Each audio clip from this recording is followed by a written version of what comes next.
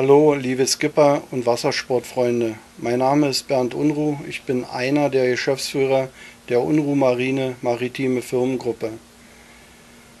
Wir zeigen Ihnen heute per Video eine Yachtreise mit der Pia Marie von Schwerin nach Waren. Eine fantastische Reise.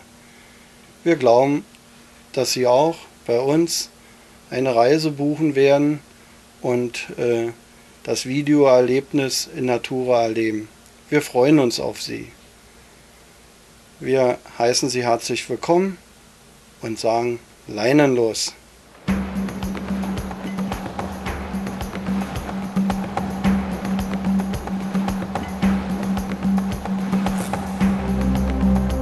Nun beginnt sie also, unsere Schiffsreise von Schwerin, der Hauptstadt Mecklenburg-Vorpommerns, nach Waren an der Müritz. 127 Kilometer liegen vor uns, ein Kilometer schöner als der andere. Zunächst halten wir 5 Kilometer lang Kurs 115 Grad über den Schweriner See bis zur Einfahrt in den Störkanal. Der Schweriner See ist 21 Kilometer lang, bis zu 6 Kilometer breit und hat eine Fläche von 61,5 Quadratkilometern. Damit ist er der zweitgrößte rein deutsche Binnensee nach der Müritz. Hier starteten wir also in Schwerin mit dem weithin sichtbaren Wahrzeichen der 850 Jahre alten Stadt, der vergoldeten Kuppel des Schlosses.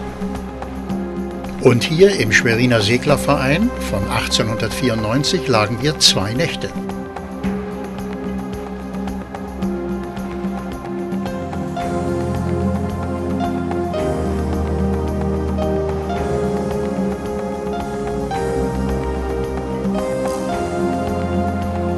Hatten einen super Liegeplatz ohne Schwellen, mit freier Sicht auf den See, mit Elektrizität, Frischwasser und nur wenigen Schritten bis zum Seglerheim mit Restaurant und Terrasse. Also perfekt. Klar, dass es auf der Seeterrasse des Clubhauses erstmal einen zünftigen Anlegerschluck gab. Na dann Prost und allzeit gute Fahrt. Auf dem Clubparkplatz ein Trabi aus alten Zeiten. Der Fahrer muss einfach interviewt werden. Gesagt, getan. Das ist Captain Walter, er hat auch ein Schiff hier liegen, segelt seit Urzeiten. Wie viele Mitglieder haben Sie hier? 400 circa. Und die, äh, das ist eine eingeschworene Gemeinschaft. Und bei Arbeitseinsätzen, alle, die kommen müssen, sind da. Und wir halten das Objekt so, dass sich jeder freut, wenn er kommt. Sie haben eine ganz tolle Jugendabteilung, haben wir gestern gesehen. Ganz ja. viele Optis. Bin ich aber nicht mehr Mitglied. Wie alt sind Sie jetzt, wenn ich fragen darf? Ich bin 1944 äh, geboren. Seit wann gibt es den Segelclub denn hier? 1894. Aber Sie haben ein ganz tolles Clubhaus, ein fantastisches Restaurant, ja. schöne Liegeplätze, Strom und Wasser. Haben Sie viele Gäste im Sommer? Ja, alles voll? Alles voll. Kann man trotzdem hoffen, hier reinzukommen? Ja, es werden immer noch Lücken geöffnet. Okay. Sie gehen jetzt gerade zum Oldie-Treffen. Die treffen sich hier einmal in der Woche, immer dienstags? Nein, zweimal in der Woche. Zweimal sogar? Einmal ist zu wenig. Und was ist denn zweimal da los? Was passiert da? Kaffee trinken, erzählen und die besten Segler sitzen immer auf der Veranda.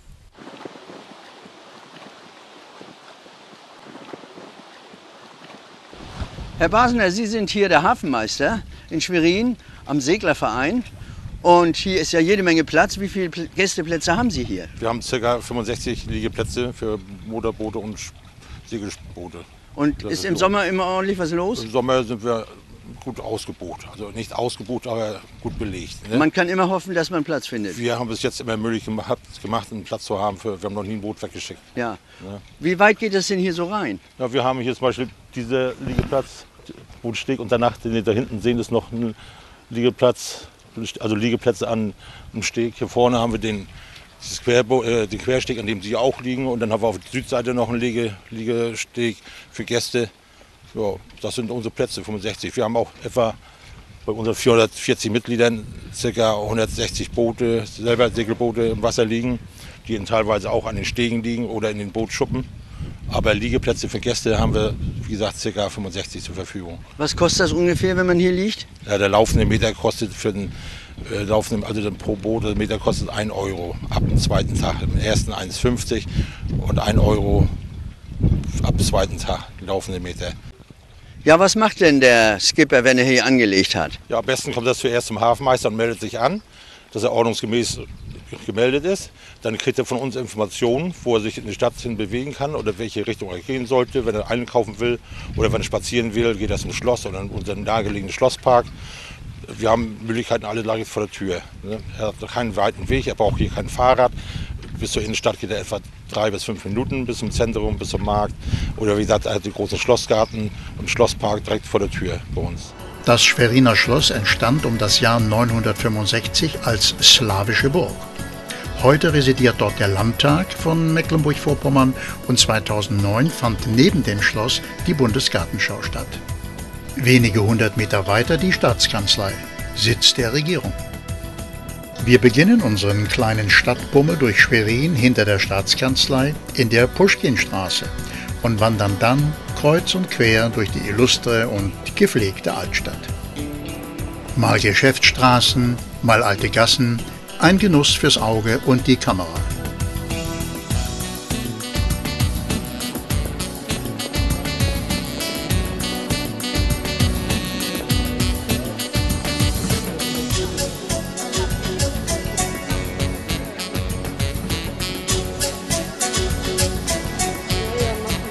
Wer auf die Schnelle etwas sucht oder braucht, der wird im Schlossparkcenter fündig.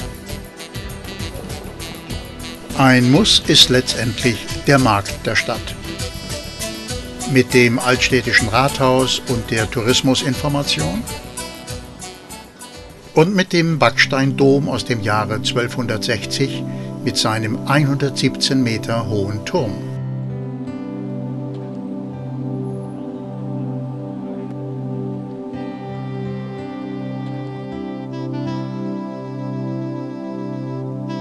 Die Mitteltafel des Altars stammt aus der Zeit um 1210.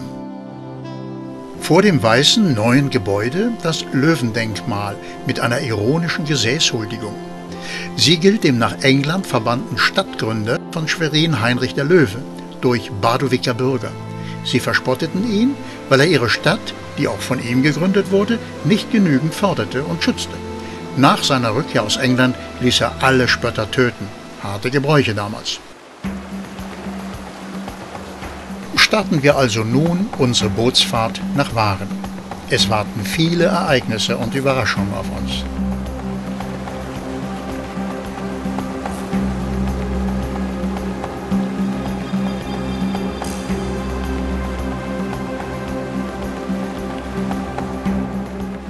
Knapp sechs Kilometer auf dem Schweriner See liegen nun vor uns, bevor wir im Südosten des Sees in den Störkanal einbiegen. Und dann sind es noch gut 120 Kilometer bis Waren. Ganz schön viel, wenn man nur mit maximal 6 Kilometern pro Stunde im Kanal skippern darf. Der Grund sind kein erhöhtes Unfallrisiko, sondern der bei höherer Fahrt entstehende Wellenschlag, der an den Uferbefestigungen saugt und nagt. Das sieht jeder Skipper ein, auch wenn er es dann und wann mal vergisst.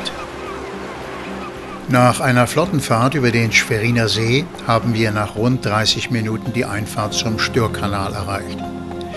Ab hier dürfen wir nur noch 6 Kilometer pro Stunde schnell sein. Das ist nicht viel, aber sehr gemütlich.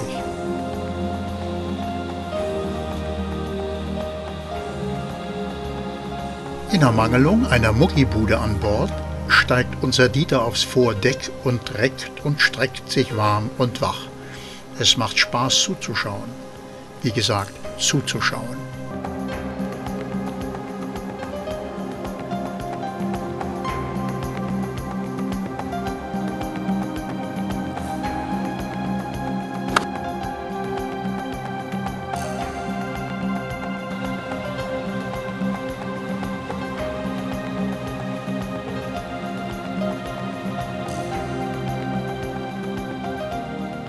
Das erste Hindernis ist erreicht, wo wir warten müssen. Die Klappbrücke und Schleuse Bansko.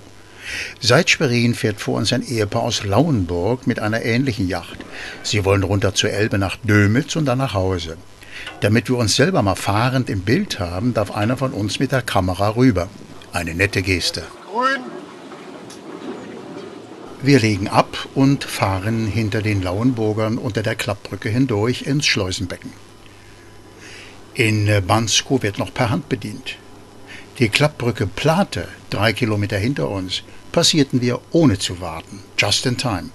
Sie wird nämlich alle 90 Minuten geöffnet, Voraussetzung, man ruft vorher per Handy an.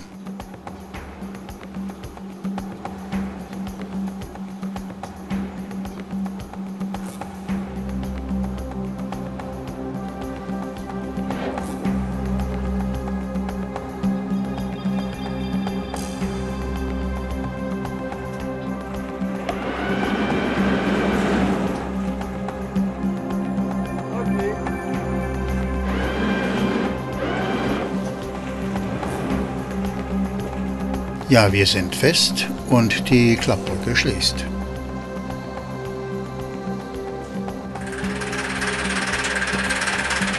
Jetzt schließen auch die Schleusentore und der Schleusenmeister lässt das Wasser in die Kammer.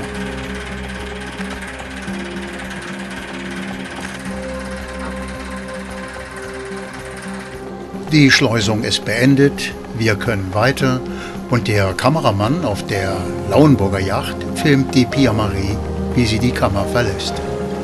Die Fender rein und dem Kameramann mal Breitseite zeigen, das sieht doch klasse aus, oder?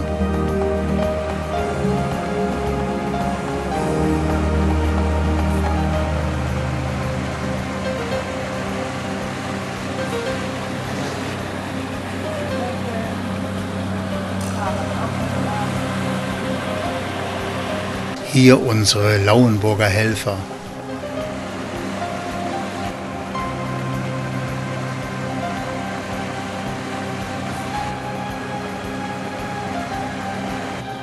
Am Eldedreieck trennen sich unsere Routen.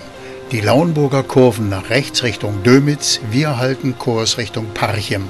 Steuermann Dieter unterstreicht das mit den Worten: Ich habe mich nicht ablenken lassen durch den Elbe-Kanal. Ich will nicht in die Elbe, sondern ich will nach Parchim. Wir haben den Störkanal verlassen und sind jetzt auf der Elde-Müritz-Wasserstraße bei Kanalkilometer 56, gezählt ab Dömitz an der Elbe. Den Störkanal befuhren wir ab Schweriner See 20 Kilometer lang. Schon im 16. Jahrhundert wurde die Stör als Transportweg für Holz benutzt. 1566 wurde die Schleuse Bansko eröffnet, die wir vorhin passierten. Und da Schwerin für Handel und Versorgung Wasserwege zur Ostsee und zur Elbe brauchte, versuchte man jahrelang Stör und Elde bis Dömitz schiffbar zu machen. Leider mangelte es an Geld. Erst um 1830 gelang eine Verbindung zur Elbe, die von kleinen Binnenschiffen genutzt werden konnte. Dann kam die Bahn und übernahm die Fracht. Die Kanäle wurden unwirtschaftlich. Heute sind sie ein Eldorado für Sportboote und kleine Passagierschiffe. Wir erreichen die Selbstbedienungsschleuse Gawitz und können direkt einfahren. Im Kammerbereich unter der Brücke sollte man nie stehen bleiben. Dann wird man, wenn man Pech hat, nach oben an die Betondecke gedrückt und versinkt. Soll alles schon passiert sein. Und zwar Paddlern, die glaubten, noch in die Kammer zu passen. Deshalb gut aufpassen und im Falle eines Falles sofort Nothalt einleiten. Es geht weiter zum nächsten Ziel, Parchim. Das sind zwölf Kilometer durch zauberhafte Landschaften.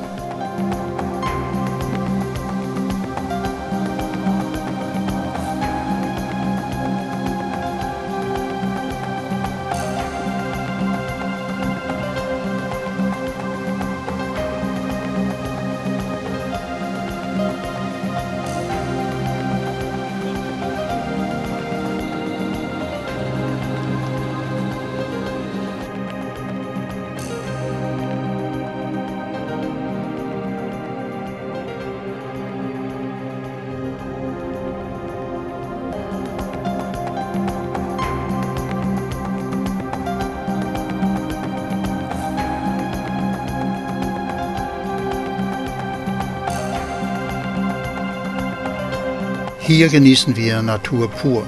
Hier gibt es keinen Stress mehr. Hier atmet alles um uns herum Stille und Beschaulichkeit. Schweigen wir eine Weile.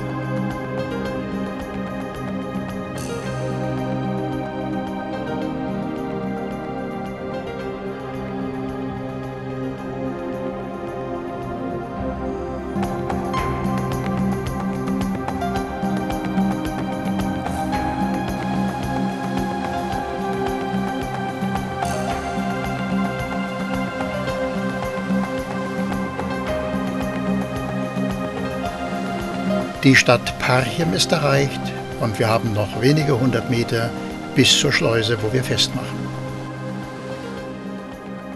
Wir sind fest und haben einen guten Liegeplatz. Schwäne begrüßen uns, sehr nett hier.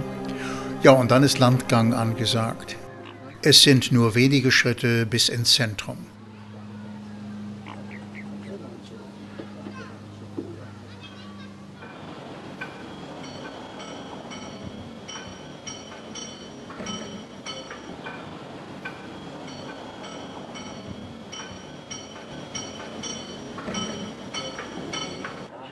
Wir haben Zeit, auch mal eine Ansichtskarte zu schreiben. Hier kann man sie kaufen, auch Bücher und Zeitungen. Danke Ihnen.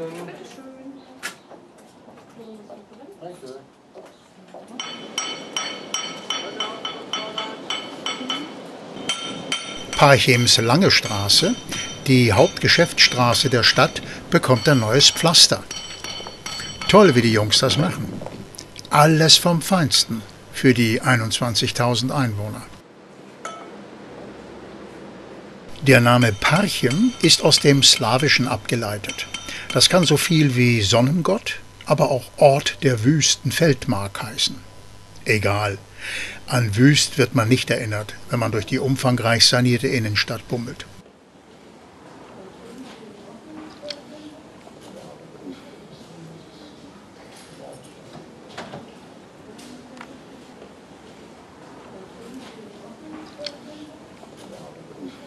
Vor uns das 1995 gründlich sanierte Rathaus am Altermarkt.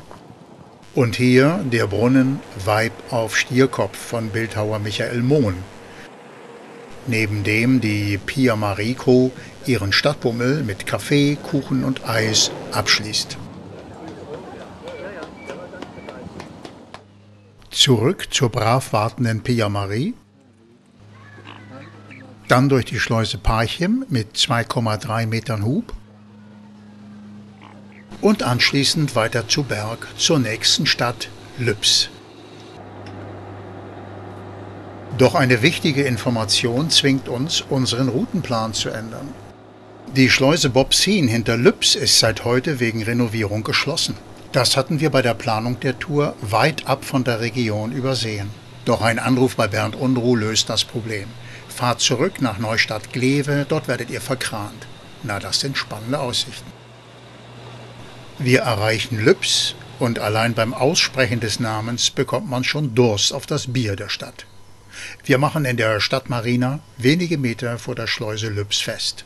Nur ein kurzer Stadtbummel ist angesagt, denn wir müssen ja heute noch zurück nach Neustadt-Glewe. Der Brauereibesuch fällt daher aus, zu unserem größten Bedauern. Wenige Schritte vom Hafen entfernt erreichen wir die nach der Wende ansehnlich sanierte Altstadt mit dem Markt und den historischen Resten der Stadt. Der spätromanische Amtsturm ist der Rest der Eldenburg, die erstmals in den Chroniken von 1308 auftaucht. Hübsch anzusehen ist auch der Brunnen mit den Schirmkindern von Christian Genschow im Rosengarten. Der alte Amtsturm beherbergt heute übrigens das Stadtmuseum und der Ortsname Lübs ist seit 1224 aktenkundig. Das Stadtwappen stammt aus 1858 und wurde 1992 neu gezeichnet. Gutes und preiswertes Essen gibt es im historischen Restaurant Alter Amsturm und in der Speisegaststätte Elde Terrassen, direkt vor der Schleuse, wo man beim Essen und beim Lübser Pilz die Schiffe ein- und ausfahren sieht. Und so wäre es gewesen, wenn wir weitergefahren wären. Aber wir mussten ja zurück. Deshalb jetzt Szenen aus einer ähnlichen Reise ein Jahr zuvor. Fahrt mal bitte bis zur Mitte. Okay, danke. Schönen Morgen. Danke. Wie viele Schiffe gehen hier in der Saison so durch? Circa 6500. Und Tendenz steigend. Tendenz steigend. Jo. Und was für Nationalitäten? Holländer, Engländer, von aus Dänemark, Deutsche ganz viel und sonst. Und was, wo wollen die alle hin? Die wollen alle, entweder wollen die alle nach Schwerin oder zum Plauer See, zum Müritz, nach Berlin, überall, wo es lang geht. Sind Sie selbst mal mit dem Boot rumgefahren? Leider nicht ganz so viel, aber ich fahre auch gerne Boot. Gibt es denn viele Probleme mit Charterern, die keinen Bootsführerschein haben, sondern nur einen Charterschein? Also die sechs Jahre oder sieben Jahre, die es jetzt so ist, absolut nicht. Läuft alles ganz Läuft normal? einwandfrei, genauso wie bei den Privaten. Also gibt auch mal kleine Probleme, ansonsten aber vom Feinsten. Wir verlassen Lübs, um nach fünf Kilometern oder 25 Minuten Fahrt durch Wiesen, Wäldern und Auen die Schleuse Bobsin zu erreichen. Wir gleiten durch eine wilde und unberührte Landschaft. Das ist die Wiedergewinnung der Langsamkeit. Und die Ruhe tut gut bei unserem Alltagsstress an Land. Bei Tempo, Tempo, immer schneller, immer höher und immer mehr.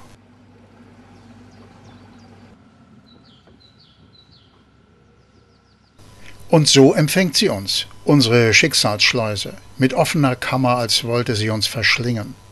Mit satten sieben Metern Hub, erbaut 1927, nach der Wende 91 zum ersten Mal erneuert und nun im Jahre 2010, 2011 wieder im Umbau. Eine große Kammer mit viel Strömung und Schwell. Hoffentlich wird das nach dem Umbau besser. Hier beenden wir unsere Fiktion, verlassen den alten Film und beamen uns direkt nach Neustadt-Glewe, wo wir verkrant werden sollen. Gelandet sind wir auf dem Wasserwanderrastplatz von Neustadt-Glewe, gleich neben der Burg.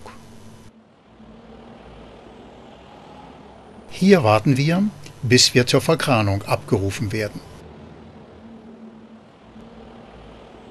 Es ist soweit. Wir verholen zum Wassersportverein Neustadt Glewe und gehen längsseits, wo ein 40-Tonnen-Kran mit Peter Voss als Führer schon auf die Pia Marie wartet. Wir hatten ja ein kleines Missgeschick hier auf unserer Reise durch Mecklenburg, denn wir haben nicht bemerkt, dass die Schleuse Bobzin schon geschlossen hat hier Anfang Oktober. Aber Sie kommen als Retter in der Not und helfen uns über die Schleuse. Ja, wie gesagt, über die Schleuse kann ich das Schiff nicht heben, aber wir können das Schiff aus dem Wasser holen und auf einen Landtransporter verladen und dann müsst ihr irgendwo wieder rein, wenn ihr die Schleuse über Land passiert habt. Das ist ja ein Riesenkran hier, das ist ja noch aus DDR-Zeiten. Wie viel kann der denn so heben? Eigentlich ist es ein 40-Tonnen-Kran. Allerdings muss man da einschränkend sagen, dass man äh, bei 40 Tonnen fast nicht mehr auslegen kann dann muss der Mast fast senkrecht stehen. Wir machen bei 15 Tonnen Schluss. Wir sollten ungefähr 12,5 Tonnen wiegen, also es gibt da keine Probleme mit uns. Nein, bei 12,5 Tonnen gibt es keine Probleme. Die Transportcrew aus Waren ist eingetroffen. Malo Bootstransporte lesen wir am Begleitfahrzeug Nummer 3, das gerade vom Tieflader geholt wird.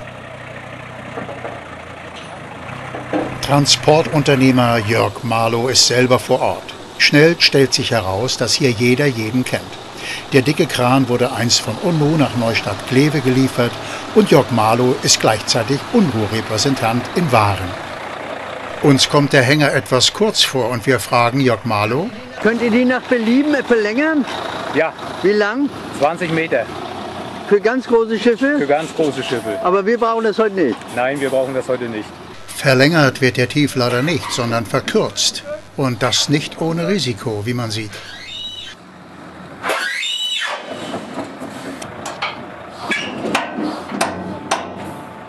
Stück vor. Jetzt noch die Bolzen richtig reinschlagen und dann kann die Pia Marie kommen.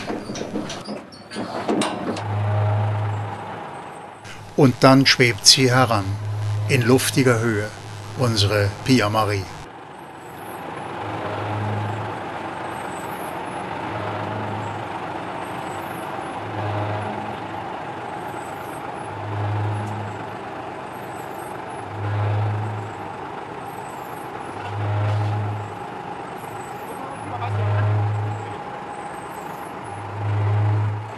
Sie wird an einer Leine geführt, damit sie nicht ins Schwingen gerät.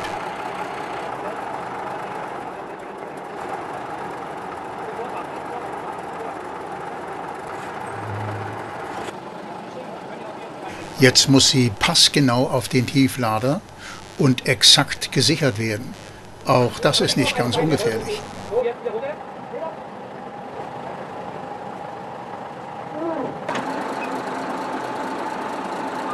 Letzte Kontrollen, was Sitz- und Spanngurte angeht. Ein letzter prüfender Blick der Krancrew. Die Tragegurte des Krans werden abgenommen und wir sind in wenigen Minuten klar zum Start. Jetzt heißt es warten. Vor 22 Uhr darf dieser Schwertransporter nicht starten. Es ist dunkel geworden. Wir können los, sagt Jörg Marlow am Steuer des Begleitfahrzeuges und erklärt uns, wie seine wild blinkende Christbaumbeleuchtung geschaltet wird. Wenn man jetzt die Zeichen angemacht hat und äh, zum Beispiel für eine Baustelle, Überholverbot ja. und sowas, ne? und da kann man das dann wieder mit ausmachen. 110 Autobahnkilometer liegen vor uns, eineinhalb Stunden wird die Fahrt dauern. Wir sind auf der Autobahn A24 zwischen Hamburg und Berlin fahren bis zum Dreieck Wittstock und dann weiter auf der A19 Richtung Rostock bis zur Abfahrt Malchow.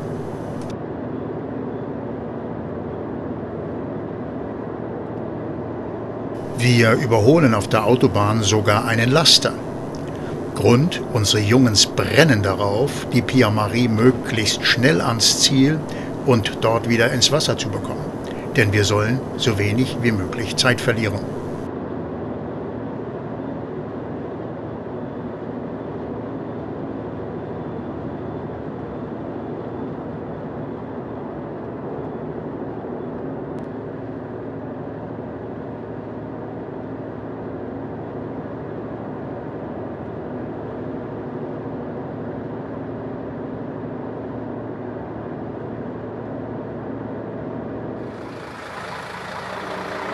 Nach eineinhalb Stunden sind wir am Ziel in Malchow.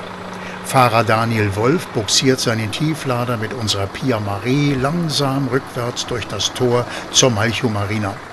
Dort soll uns am nächsten Morgen ein Travellift ins Wasser setzen.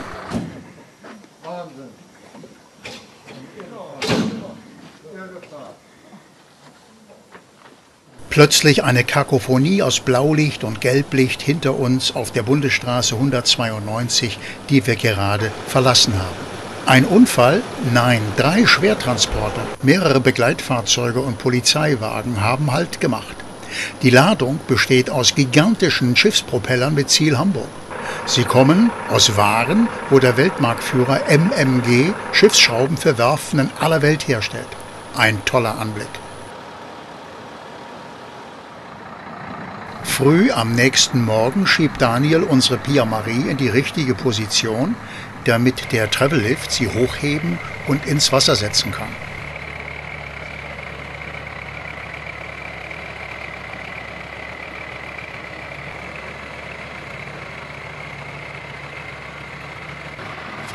Die Tragegurte sind fest und die Pia Marie wird langsam hochgehoben.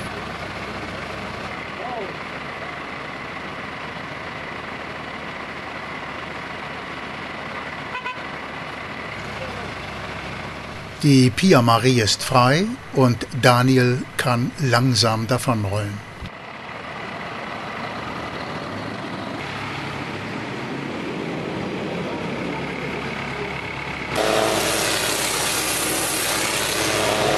Doch bevor es wieder ins Wasser geht, wird das Unterschiff der Pia Marie gründlich abgekerchert, das heißt gewaschen. Ist ja eine einmalige Reinigungschance.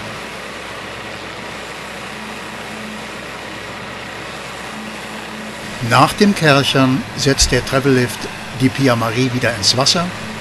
Wir gehen an Bord und fahren mit ihr zurück bis kurz vor Plau, um von dort aus unseren Film logisch fortzusetzen. Wir haben also die Schleuse Bobsin übersprungen und fahren jetzt in die Selbstbedienungsschleuse Barkow bei Kilometer 114 des Elde-Müritz-Kanals. Es ist immer dasselbe Prozedere bei den SB-Schleusen. Man fährt die Automatik an, dreht den Starthebel und wartet auf Schleusung. Bei Grün darf man in die Kammer.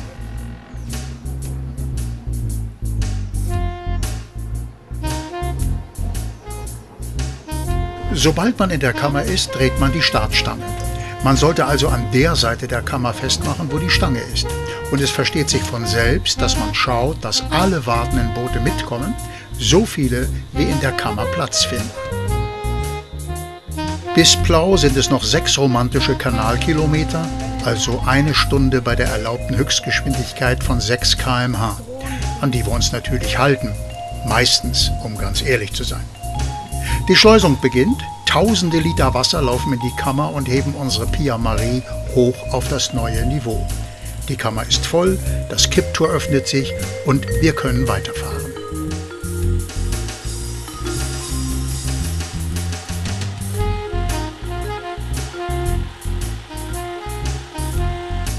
Weg da Gefieder, entweder ihr flüchtet oder wir mangeln euch über.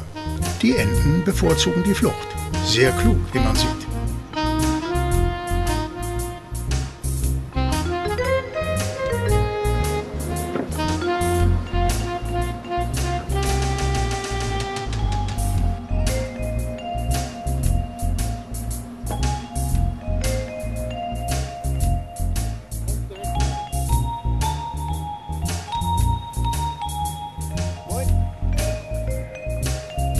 Wir erreichen Plau, ein touristisches Kleinod am Westufer des Plauer Sees. Vor uns die moderne Schleuse. Handbetrieben, das schätzen wir. Ein netter Empfang mit Doppelgrün.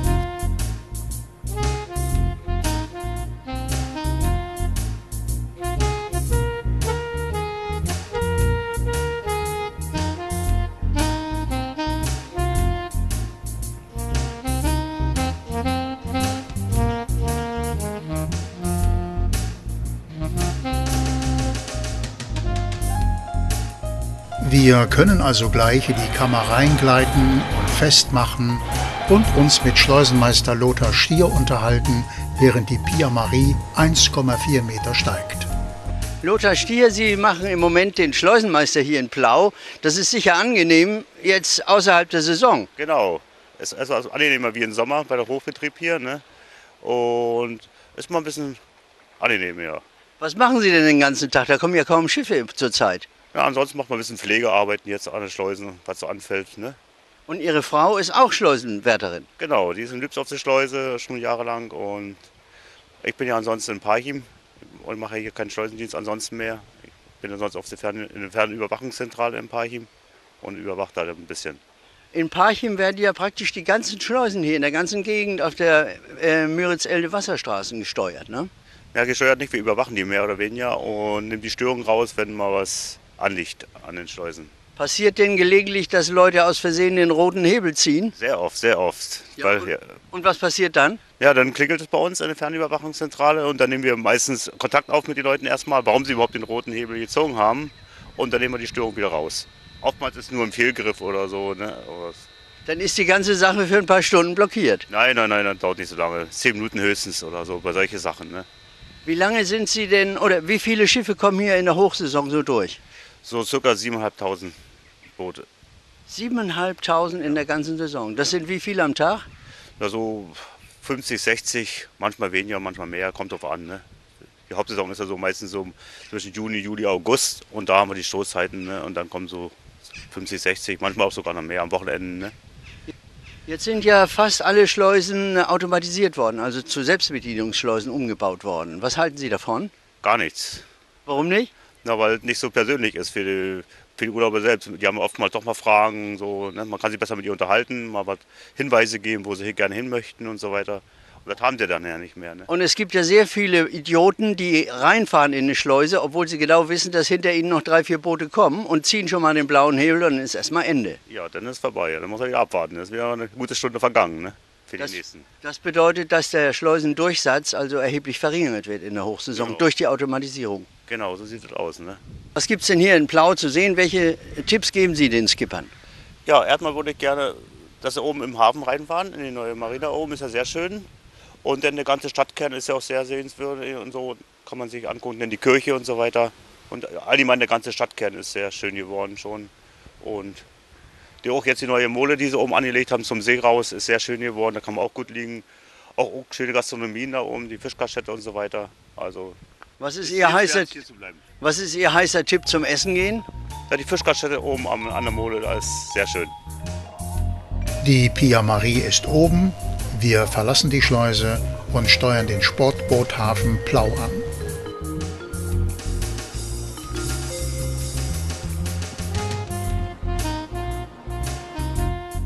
Wir fahren durch den Stadthafen und auf der linken Seite schwingen sich Gässchen mit kleinen Häuschen bis hinunter zur Elde, wo auch viele Boote verteut liegen.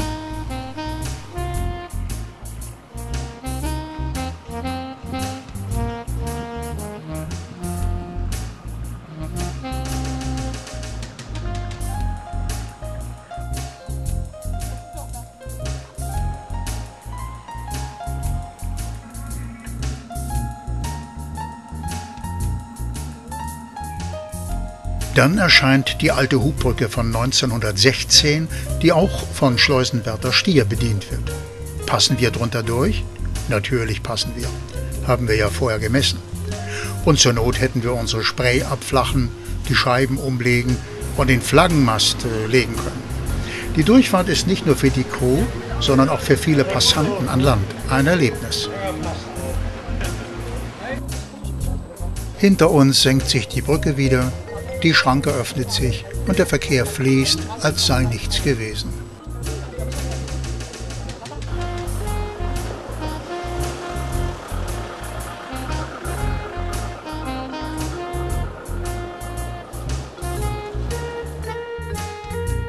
Wir steuern hinter der Hubbrücke rechts in den großen Sportboothafen Wasserwanderrastplatz Plau rein.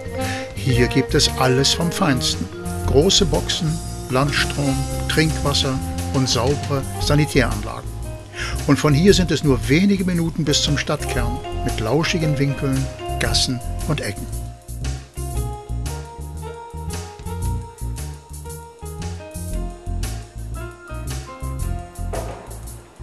Zwischen Marina und Hubbrücke, direkt unter der Brücke der Bundesstraße 103, liegt eine verlockend riechende Fischräucherei.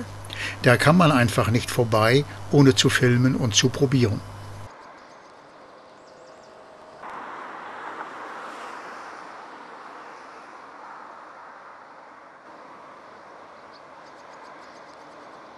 Unser Crewmitglied Jürgen kann der Versuchung einfach nicht widerstehen und genießt ein Stück Räucheraal aus der Hand. Der Plauer Burgturm ist der Rest einer bedeutenden Burganlage aus dem 15. Jahrhundert. Mit viereinhalb Meter dicken Wellen und vier Wachtürmen war sie für damalige Wehr- und Waffentechnik gut schützend. Heute ist sie eine Touristenattraktion. Wie viele Besucher denn so jedes Jahr die Burg besuchen, wollen wir vom Burgfräulein Rapunzel wissen. Genau kann ich die Zahlen nicht angeben, aber wir haben jedes Jahr Steigerung bisher gehabt und das ist auch gut so. In zwölf Metern Tiefe unter dem Turm ist ein gruseliges Verlies. Haben Sie schon mal einen Besucher vermisst, wollten wir von Rapunzel wissen. Ich habe mal jemanden eingeschlossen, muss ich ehrlich gestehen. Und der Mann hatte ein Handy dabei, hat die Polizei angerufen. Aber der hat nicht übernachten müssen. Hat nicht übernachten müssen. Weil er ein Handy hatte. Da kann man ja. mal sehen, wie gut ein Handy ist. Aber oben haben wir es irgendwo stehen, dass denen mal eingeschlossen wurden früher und da gab es kein Handy. Die Dänen? Ja, und die haben hier eine Nacht verbracht. Da poltert kein Geist aus der Gruft, kein Däne. Da kommt unser Crewmitglied Jürgen langsam die Treppe herauf. Warum hast du denn einen Helm auf? Ja, kannst du fragen, ist so niedrig. Das, meinst, das heißt, du bist zu groß. So, weiter. 45 Stufen insgesamt.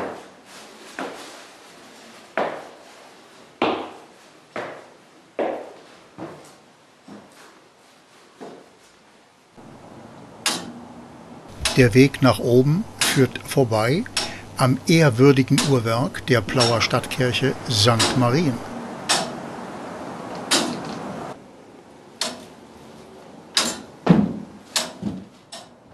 Und nach 45 Stufen eine tolle Aussicht. Die Belohnung. In der ehemaligen Scheune im Burghof das Heimatmuseum, in dem das Plauer Handwerk und die Technik von früher präsentiert werden. Und hoch oben vom Turm verabschiedet sich Rapunzel mit einem netten Winke-Winke. Plau mit seinen 6300 Einwohnern hat seinen Namen vom slawischen Plave. Der Begriff steht für Flößort. Die Stadt verzaubert den Besucher nicht nur mit dem nahen Wasser, sondern mit seiner idyllischen Fachwerksarchitektur. Mit vielen Restaurants, Kneipen und Geschäften. Sehenswert sind außer der einst größten Burganlage Norddeutschlands die romanisch-gotische Stadtkirche aus der Zeit um 1300 und die ehemalige Synagoge, heute eine katholische Kirche. Plau ist nicht nur für Wassersportler, sondern auch für Wanderer und Radfahrer ein Urlaubsmagnet. Polizeikommissar Dirk Petrat hier in Plau von der Wasserschutzpolizei. Hier liegt Ihr Boot. Normalerweise sagt man ja, die Polizei, dein Freund und Helfer. Kann man das auch von der Wasserschutz sagen? Das kann man von der Wasserschutzpolizei auch sagen. Wir sind nicht äh, schlimmer als andere Polizisten. Wir haben ja auch mit einem anderen Klientel zu tun. Wir haben hier Leute, die wollen Urlaub machen, die wollen sich entspannen.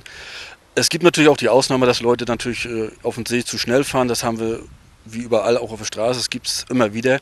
Aber ansonsten Freund und Helfer stimmt. Was passiert denn so am meisten, wo Sie eingreifen müssen?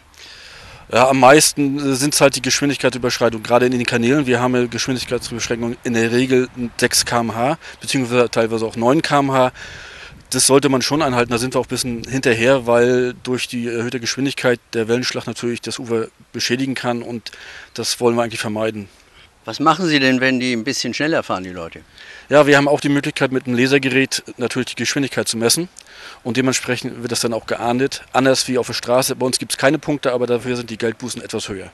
Wie ist es denn eigentlich mit den äh, Inhabern von Charterscheinen, die also nicht einen richtigen Sportbootführerschein haben, sondern eben nur für die Charterei äh, eine Erlaubnis haben, so für zwei, drei Wochen? Äh, bewegen die sich anständig? Ja, sie bewegen sich hier in unserem Bereich doch schon anständig. Wir hatten ein bisschen Probleme anfänglich gesehen, dass es da zu Unfällen kommen könnte oder sonstiges, weil die Erfahrung halt nicht da ist. Aber die Statistik hat äh, gezeigt, dass gerade in unserem Bereich äh, diese Leute eigentlich vorsichtig mit der Sache Boot umgegangen sind und äh, dadurch ist es eigentlich nicht zu besonderen Auffälligkeiten gekommen. Welche Ratschläge geben Sie den Skippern, die jetzt über den Plauer See wollen, wenn es vielleicht nicht so ganz ruhig ist, so schön wie heute? Ja, es betrifft vor allem die Charterbootführer. Ab Windstrecke 4 äh, dürfen sie nicht mehr über den See fahren. Das ist äh, so geregelt im Gesetz. Sie müssen sich, wenn Sie über den See fahren, äh, bevor Sie den See B fahren, beim Verscharterer anmelden und wenn Sie den See wieder verlassen, wieder anmelden. Das ist auch so gefordert in der äh, Verordnung. Schwimmwesten anlegen, äh, das ist ein Ding, was, was sein muss einfach nur. Und wichtig ist noch, dass Sie sich halt im Tonnenstrich bewegen, also die, den ausgetonnten Bereich nur nutzen bei der Überfahrt. Schwimmwesten erst ab Windstärke 4 oder generell? Generell bei der Überfahrt Plauersee, Müritz, Schwimmwesten bevor der See erreicht wird, also bevor die Fahrt beginnt, muss angelegt sein. Soweit die Ratschläge der Wasserschutzpolizei Plau.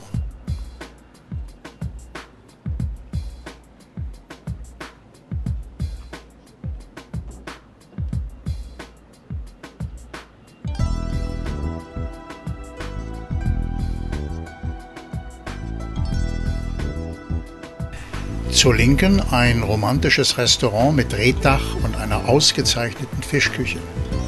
Und wie man sieht, mit sehr guten Liegemöglichkeiten, längsseits.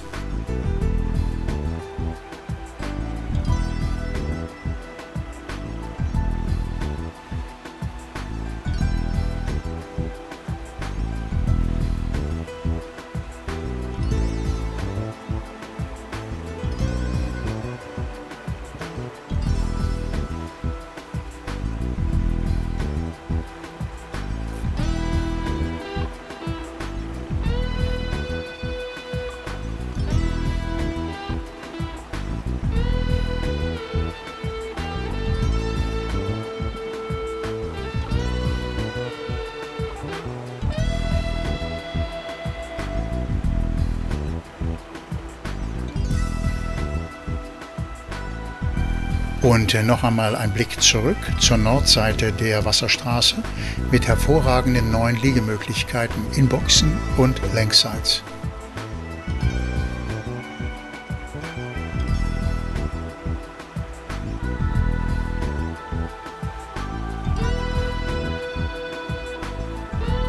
Noch einige Bootshäuser zur rechten und auf der linken Seite gepflegte Spazierwege und dann erreichen wir bald den großen Plauer See.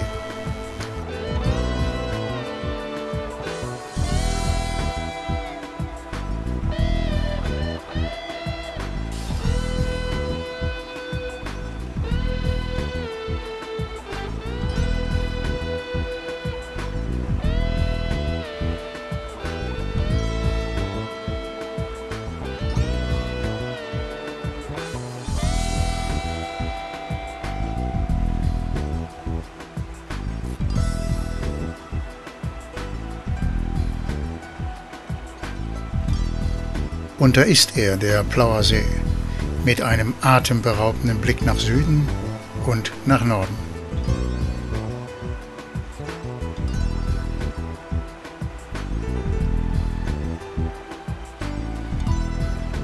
Fünfzehn Kilometer misst der See in Nord-Süd-Richtung. Fünfeinhalb Kilometer freies Wasser liegen vor uns bis zur Kanaleinfahrt Lenz auf der östlichen Seite. Jetzt sind Kompass und Fernglas nützlich. Wir fahren zu Berg und lassen die grünen Tonnen rechts liegen. Wenn wir 80 Grad anlegen, kommen wir auf der kürzesten Linie über den See. Nach 20 Minuten sind wir bereits auf der östlichen Seite und fahren bei Kilometer 126,5 wieder in die Müritz-Elde-Wasserstraße ein. Ab hier gilt eine Höchstgeschwindigkeit von 9 Kilometern bei Kanalfahrt.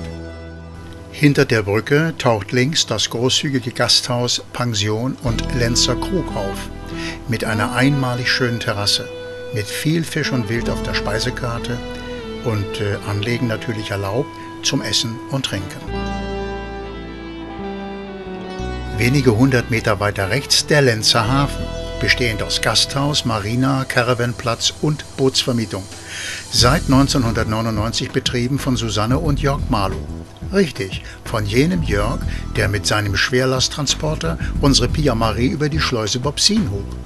Auch hier lädt ein schmuckes Gasthaus mit Wasserterrasse zum Verweilen ein. Und äh, die Marina von Susanne und Jörg Marlow mit Tankstelle und schönen Liegeplätzen ist auch für Gastlieger geöffnet.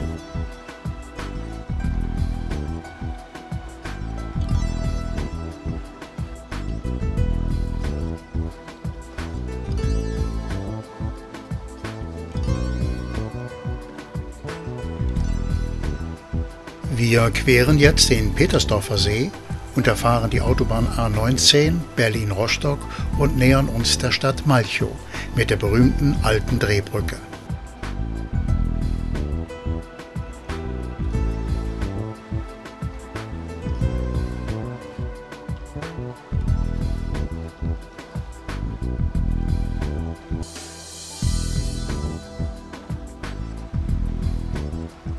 Wir haben den Malchower See erreicht. Rechts, kurz hinter dem kleinen Ort Reken, taucht die Malchow Marina auf, wo die Pia Marie nach ihrem langen LKW-Transport wieder ins Wasser gesetzt wurde. Zur Linken sehen wir die ersten Bootshäuser von Malchow.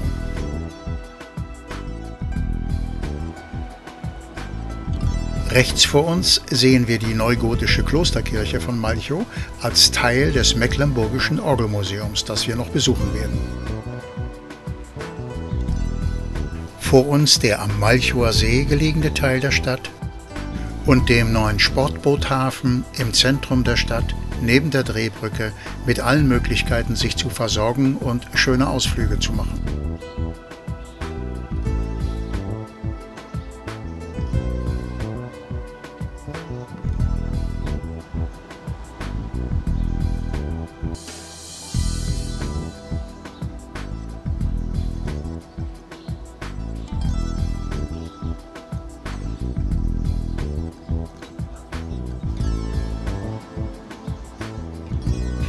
Bevor wir die Drehbrücke in den Flesensee passieren, machen wir auf dem Malchower See noch eine große Kreisfahrt und fangen dabei ein einmalig schönes Panorama ein.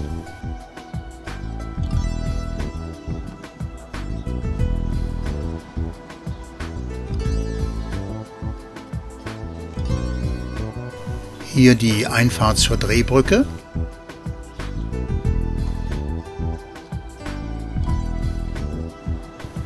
Gleich neben der Drehbrücke das Designerhotel und Edelrestaurant Rosendomizil. Ein Tipp für pralle Bordkassen.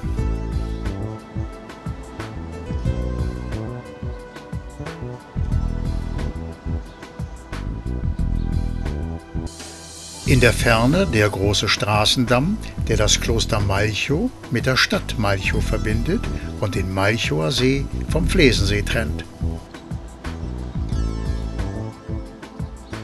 Und wir machen Halt in der zum Orgelmuseum umfunktionierten Klosterkirche und spitzen die Ohren.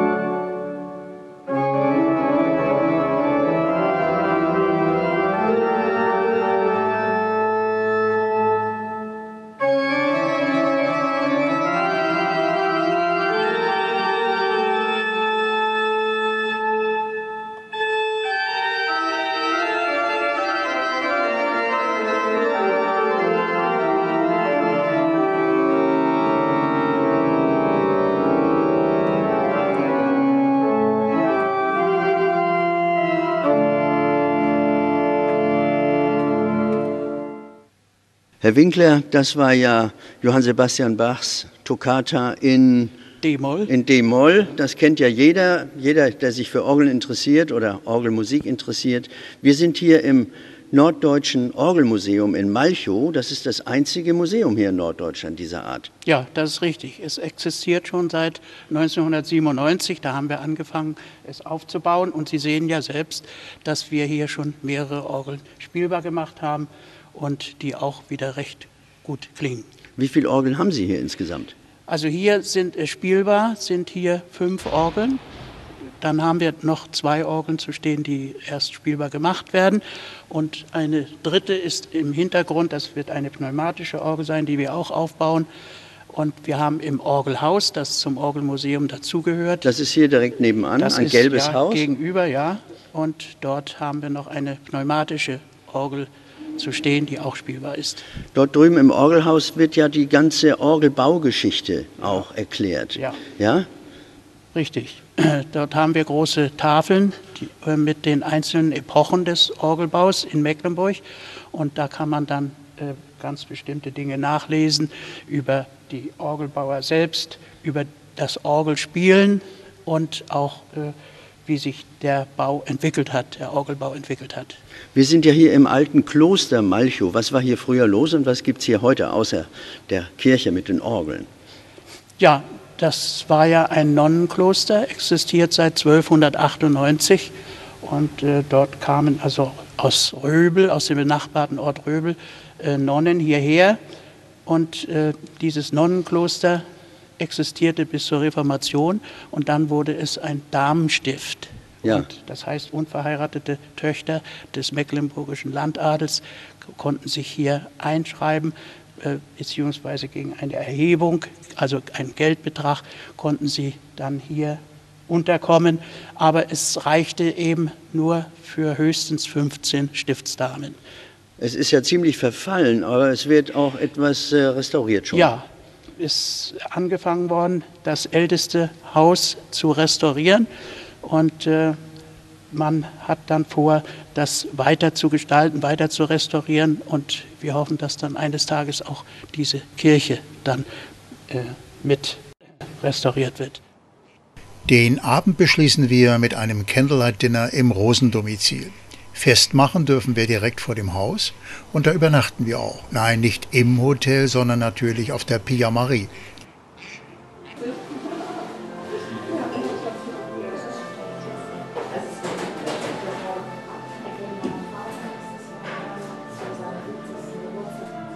Die Kerzen brennen schon, jetzt folgt der Kamin.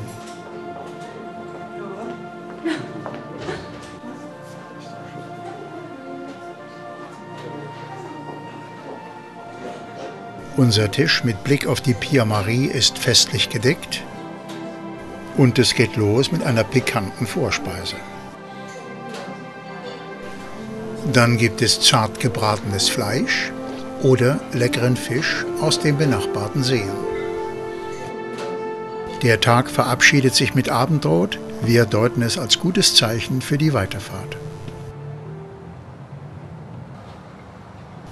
Am nächsten Morgen wollen wir durch die Drehbrücke Malchow.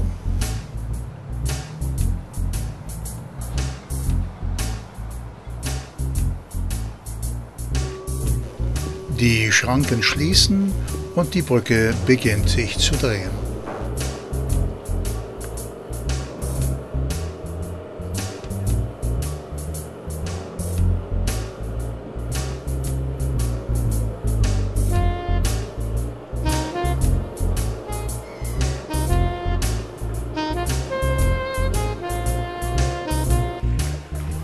Zunächst dürfen die Talfahrer passieren. Nach der Regel Talfahrt vor Bergfahrt.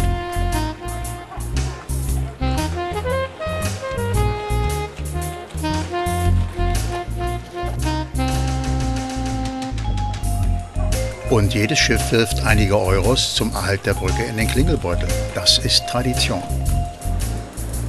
Und dann sind die Bergfahrer dran. Zunächst die gewerblichen Schiffe und dann die Sportboote.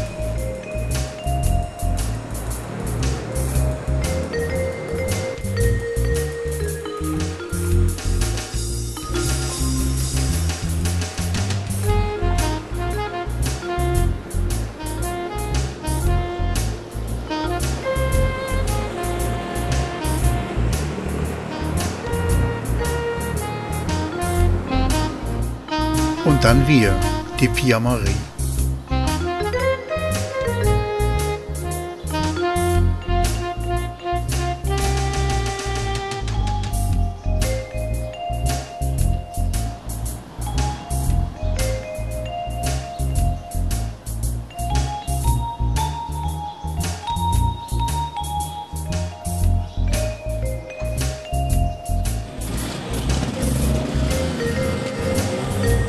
Das war's, der Verkehr darf wieder rollen, bis zur nächsten vollen Stunde, wenn die Brücke erneut geöffnet wird.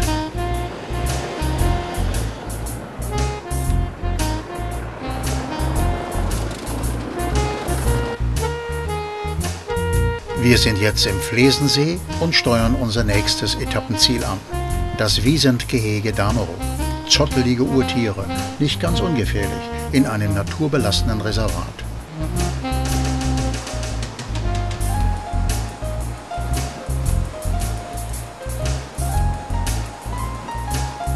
Langsam ziehen an der rechten Seite attraktive Seegrundstücke mit liebevoller Bebauung vorbei.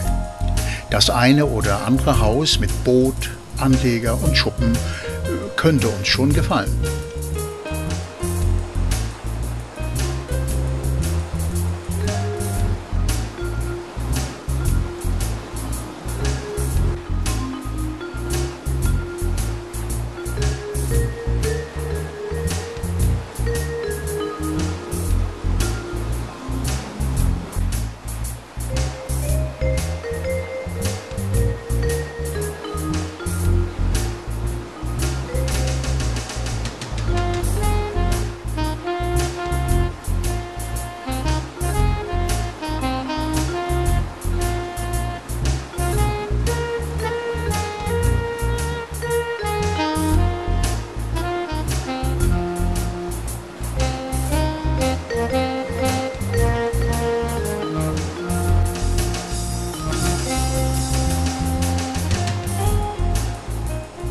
Der Flesensee öffnet sich und die pure Natur hat uns wieder.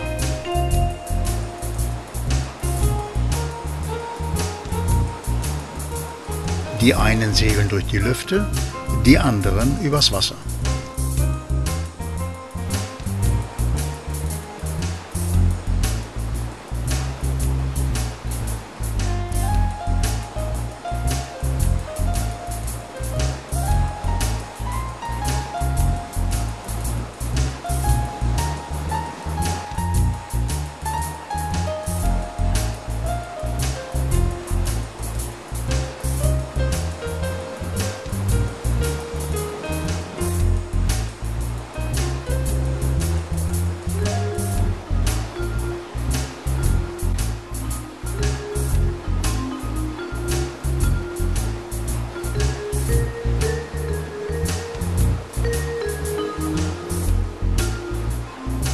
Jetzt durch den Görener Kanal in den Kölpinsee, dann Kurs 360 Grad Nord in den Jabelschen See zu den Wiesenten.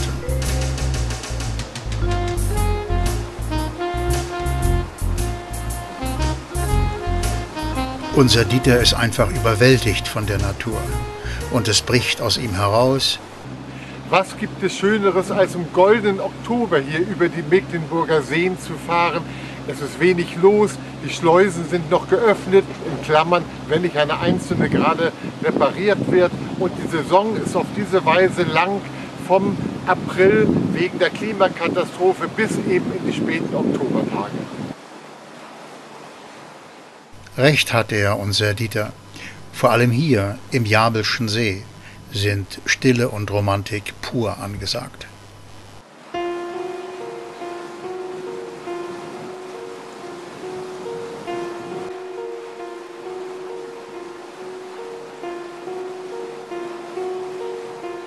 Zur Rechten das durch Sperrtonnen begrenzte Wiesent-Reservat Damerower Werder mit 40 wild lebenden Tieren.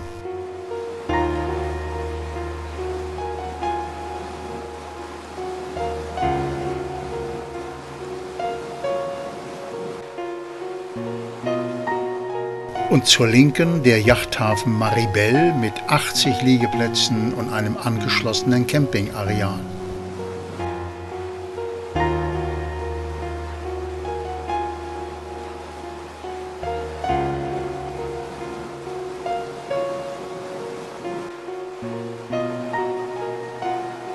Hier gibt es auch für große Motorjachten satt Platz in Boxen.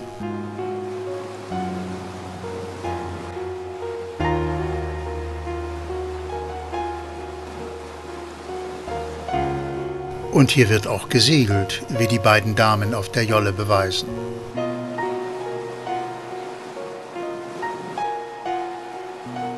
Wir nähern uns unserem Tagesziel, der neuen Marina auf dem Damerower Werder. Gleich neben der Fischerei und Räucherei Damerow, die uns schon von weitem mit ihrem Duft anzieht. Von hier aus sind es nur ein paar Schritte zum Wiesentgehege, genauer zu den Tribünen, von denen man zweimal am Tag die Fütterung beobachten kann, um 11 und um 15 Uhr. Und da sind sie, die riesigen Tiere. Leider kommen wir etwas zu spät zur Fütterung, dafür erleben wir die Wiesente ruhig, satt und zufrieden. Der, nicht das Wiesent, in der Biologie Bison bonasus genannt, war früher in Europa zu Tausenden vorhanden. Doch das gute Fleisch des zotteligen Wildrinds kostete die Gattung fast das Überleben. Waren die natürlichen Herden allein in Polen anno 1857 noch 2000 Tiere groß, schrumpften sie bis Ende des Ersten Weltkrieges als Folge von Hunger und Wilddieberei auf Null. Es überlebten nur die Zucht Wiesente der polnischen Könige. 1957 bat Polen die DDR um aktive Unterstützung bei der Arterhaltung. Die Folge war die Entstehung des Reservats Damerower Werder mit zwei Wiesenten als Geschenke. Beide waren fruchtbar und mehrten sich. Heute leben 40 Wiesente auf dem Damerower Werder. Es geht zurück zur Pia Marie, denn heute ist großes Entenbrustessen an Bord angesagt. Doch vorher reizt es die großen Jungs vom großen Schiff, noch einmal den Kinderspielplatz auszukosten. Als erster wagt sich Dieter auf die Seilbahn, als zweiter versucht sich Jürgen am Schwerkrafteffekt unter der Rolle und zuletzt zeigt Smutje Uwe, was er außer Kochen noch drauf hat.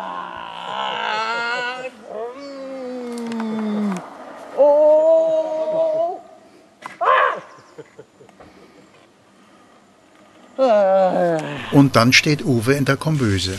Also, wir haben hier wunderbare Entenbrüste von Aldi. Drei Entenbrüste für vier Personen. Dazu gibt es dann Rotkraut mit Kartoffeln, Quatsch, mit Äpfeln und Ananas. Wir verzichten heute auf das ähm, Apfel, nee, wie heißt es, Kartoffelpüree weil wir das wahrscheinlich gar nicht alles aufkriegen zu viert. Jetzt ähm, habe ich die Entenbrüste schön so aufgeschnitten, die Fettseite. Und die wird jetzt wunderbar angebraten, acht Minuten auf beiden Seiten. Dann wird es etwas zum Ruhen gebracht, indem wir das in Alufolie einpacken. Und in der Zeit werde ich dann Rotkraut machen. Also es ist ein kleines bisschen eng hier unten, aber mit ein bisschen äh, Trickserei kriegt man das hin. Also das duftet schon ganz herrlich. Jetzt kommt dann natürlich ein bisschen Pfeffer dazu und Salz. Wird das ein paar Mal gewendet. Und dann schauen wir mal, was daraus wird. Also Rotkraut, Apfel klein geschnitten und eine Dose Ananas dazu. Alles schön gemixt. Kleines bisschen Entenfett rein. Ich denke, das wird schmecken. Und dann natürlich ein Schuss Rotwein. Der Karlstadter Rotwein, trocken, Dornfelder. Ja, jetzt will ich das natürlich hier nicht reinschütten, sondern das kommt hier. Nachher müssen wir aber noch eine Soße machen. Dann müssen wir noch einen kleinen Schluck Dornfelder übrig lassen.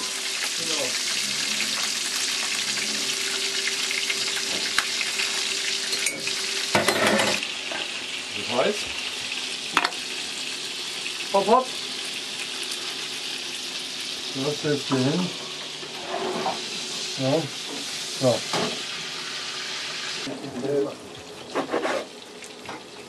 Fangt schon an da oben.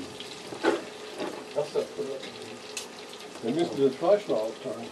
Ja, das kriegt ja jeder. Kriegt ja noch ein Stück Fleisch. Oh, das ist genauso prima geschnitten. Und prima gebraten. So. Teilung durch Teilen überwinden.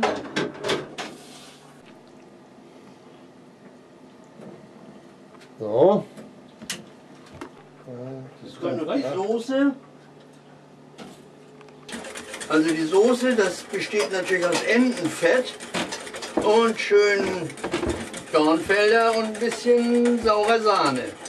Also ich denke, aua aua, das könnte was werden. So, bitteschön. Ah.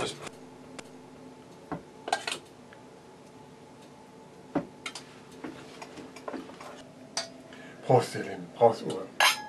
Gratulation dem Koch. Erstmal probieren. Soll ich da auch Soße geben? Nö. Und das in kürzester Zeit.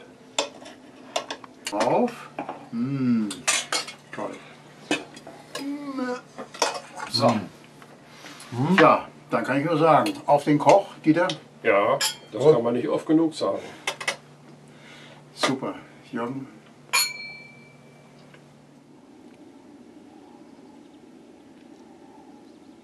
Der Morgen nach diesem lukullischen Abend beginnt mit romantischem Frühnebel und verspricht einen sonnigen, herrlichen Oktobertag. Ob die Fische so früh wohl schon beißen? Wo es heute hingeht, erklärt uns Mutje Uwe, der heute am Ruder steht. Ja, nachdem wir gestern unsere Bisons besichtigt haben, oder auch Bisente, fahren wir jetzt gleich rein in den Flesensee, biegen nach Backboll ab und fahren dann in aller Ruhe bis Waren. Ein paar Minuten noch dürfen wir den romantischen Jabelschen See genießen. Links sehen wir noch einmal die Sperrtonnen des Wiesentgeheges. Dann passieren wir einen sehr ruhigen, schönen Ankerplatz, durchfahren wieder den Jabelschen Kanal und stören einige Enten. Sorry, wir hätten eigentlich wegen der köstlichen Brüste von gestern dankbar sein müssen. Ja, und dann erreichen wir den in der Morgensonne schimmernden und blitzenden Kölpensee.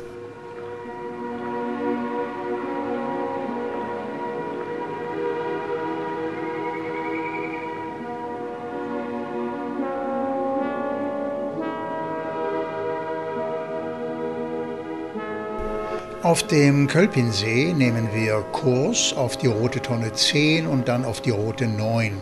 Auch wenn man gerne schnibbeln möchte, aber es ist gefährlich. Am Dammerower Werder liegen böse Steine, auch Geistersteine genannt, die spitz aus der Tiefe aufsteigen. Ziel ist ab der Roten Tonne 9 die Einfahrt zum Reekkanal in ca. 5 Kilometern Entfernung. Wer einen Kompass an Bord hat, fährt Kurs 85, wer keinen hat, fährt mittig zwischen roten und grünen Tonnen. Der Reekkanal liegt vor uns, die Verbindung zur Binnenmüritz.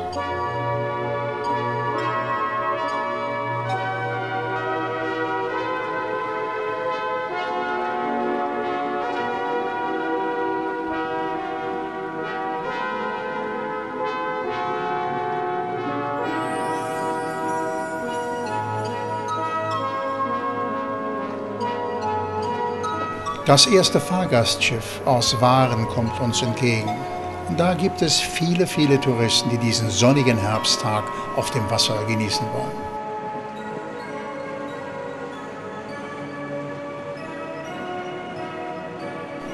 Links voraus die Marina Eldenburg mit einem großzügigen Yachthafen, auch für Gäste, mit Ferienhäusern, mit einem Caravanplatz, mit einem Restaurant, mit Schwimmbad, und mit hervorragenden Sanitäranlagen.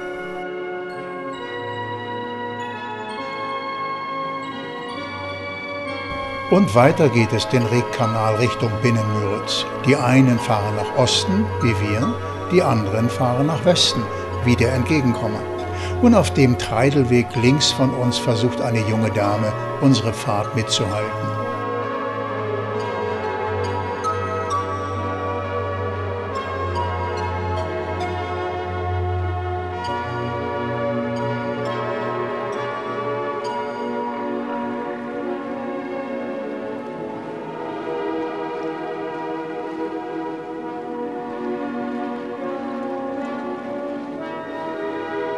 Wir erreichen die Müritz, die Binnenmüritz, um genau zu sein. Und am Horizont grüßt schon die Silhouette von Waren. Und rechts von uns präsentiert sich die Außenmüritz, das größte deutsche Binnenmeer mit 113 Quadratkilometern Fläche. Sie ist 29 Kilometer lang und 13 Kilometer breit. Und dann liegt Waren in voller Pracht vor uns die 22.000 Einwohner zählende schmucke Kreis- und Kurstadt. Wir genießen ein überwältigendes Panorama und steuern langsam am roten Tonnenstrich den quirligen Hafen an.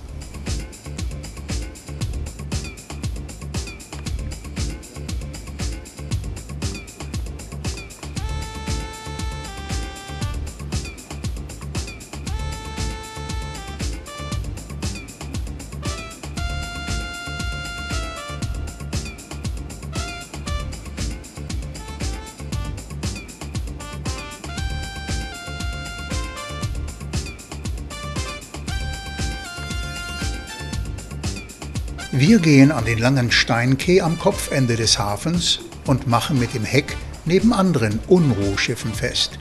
Denn hier in Waren ist wieder eine Unruhbasis. Hier ist für die Pia Marie quasi Heimat. Hier endet unsere Tour ab Schwerin.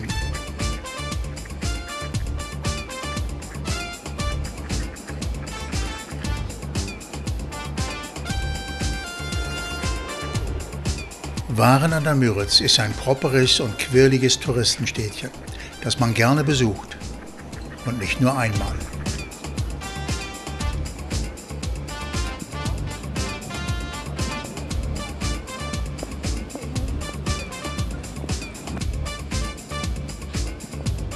An der großen Promenade fällt eine große Schiffsschraube auf, die über einem Springbrunnen thront. MMG lautet die Gravur, na klar, das Logo sahen wir doch schon mal nachts in Malchow.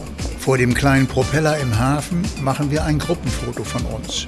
Und wir besuchen natürlich das MMG-Werk bei unserem Stadtbummel, um diese Giganten bei Tageslicht zu bewundern. Bis zu elf Meter im Durchmesser sind die Schiffsschrauben groß und lagern hier und warten auf ihren Abtransport. Auch die Schrauben für die Queen Elizabeth II. wurden hier gegossen, kamen aus Waren. Wer hätte das gedacht?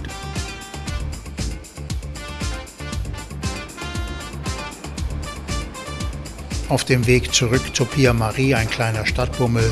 Wir sind auf dem neuen Markt vor dem neuen Rathaus. Wir genießen die Fachwerkhäuser auf der anderen Seite. und den filigranen Springbrunnen in Kugelform. Wir flanieren durch die Shoppingmeile der Stadt, durch die lange Straße, besuchen die Tourismusinformation, bummeln durch eine kleine romantische Gasse rauf zu St. Marien, von deren Turm man aus einen hervorragenden Blick über die Gegend hat. Und lassen uns von unserem Kollegen Uwe mit den Worten erschrecken. Wir sind in der Scharfrichterstraße und wer hier im Haus Seeblick seine Rechnung nicht bezahlt, wird umgehend geköpft. Na, dann nichts wie weg ins Myrizeum. Übrigens ein Muss für jeden Warenbesucher. Wir fragen eine Hostess, was man hier dann so alles entdecken kann. Im Untergeschoss haben wir die Aquarienlandschaft äh, mit unseren einheimischen Süßwasserfischen. Im Erdgeschoss dann verschiedene ja, Abteilungen. Ne? Vogelwelt, Zeitreise, der Wald. Äh, ja, es läuft auch immer ein Film bei uns in der Multivision von der Entstehung Mecklenburgs. Dann der Naturlehrpfad um den Herrensee und das zweite Museumsgebäude, das Haus der Sammlung und dann eben im Moment die Sonderausstellung Karten mit Geschichte. Also ein naturkundliches Museum. Richtig mit unseren einheimischen Fischen, Tiere aus unserer Region, Wald, also eigentlich Mecklenburg, ne, also unsere Region wird vorgestellt. Kommen viele Schüler hierher, Schulklassen? Ja, ja. also ja? das ist wirklich. Und die normalen Touristen auch? Ja. Sind Sie zufrieden? Doch, also der Chef hat noch nichts anderes gesagt. Wir sind zurück bei der Pia Marie, wo wir einen guten alten Bekannten treffen. Jörg Marlow betreibt nicht nur einen eigenen Hafen, Lenzerhafen, sondern ist hier auch zuständig für Unruhmarine im Hafen von Waren und hat ein Bootstransportunternehmen, arbeitet eigentlich Tag und Nacht. Ist das nicht ein bisschen viel? Nein, das ist nicht zu viel. Manchmal ist ein bisschen wenig Schlaf, aber da können wir mit umgehen. Ne? Was hat Waren denn so zu bieten? Ja, Waren hat sehr viel zu bieten an Sehenswürdigkeiten, dann aber auch den sehr schönen Yachthafen hier in Waren, das ganze Ambiente ringsherum mit den Gaststätten. Also ist einfach toll. Auch die ganze Innenstadt, die Altstadt, alles toll saniert. Wirklich super. Unruh Marine hat fünf Schiffe hier in Waren und ist jetzt die erste Saison hier bei uns äh, vertreten gewesen, also ein Jahr. Und Sie selber haben auch eine ganze Menge Schiffe hier zu verschartern. Ja, das sind alles kleine Boote im Tagesgeschäft oder auch stundenweise. Auch für Leute, die keinen Führerschein haben, die können diese Boote hier bei uns dann ohne Führerschein mieten und damit hier fahren. Man kann bei der Familie Marlow hier in Waren auch die verschiedenen Bootsführerscheine machen. Ja, das ist möglich. Den amtlichen Sportbootführerschein binnen innerhalb von drei Tagen übers Wochenende, Freitag, Samstag, Sonntag mit Prüfung. Und auch den Seeschein kann man hier bei uns erwerben, dauert allerdings dann einen Tag länger und ist auch wesentlich schwerer als der Sportbootführerschein binnen. Soweit Jörg Marlow im Gespräch mit Uwe Taubert. Besucher betrachten und bestaunen die Pia Marie. Und das ist gut so, denn sie sucht ja immer neue Gäste. Das ist ihr Leben. Wir verabschieden uns von unserer Pia Marie, aber auch von Ihnen, liebe Zuschauer und Mitreisende ab Schwerin. Wir hoffen, die Tour hat Ihnen so gut gefallen wie uns. Sicherlich sehen wir uns wieder, vielleicht zwischen Havelberg und Schwerin oder zwischen Waren und Marina Wolfsbruch oder in der Unruh Marina in Werder bei Potsdam. Dort, wo die Freizeit auf dem Wasser keine Grenzen kennt und alle Wünsche erfüllt werden. Wir sagen deshalb Tschüss und auf Wiedersehen.